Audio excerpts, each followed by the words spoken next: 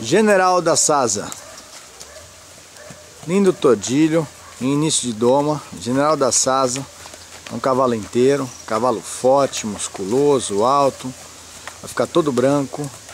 Está sendo domado agora pela Isadora Marculino, nossa ginete.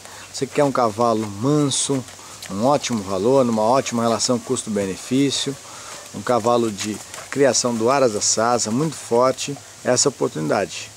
Vem aqui conhecer o cavalo general da Sasa, a venda na Cudelaria Aguilar.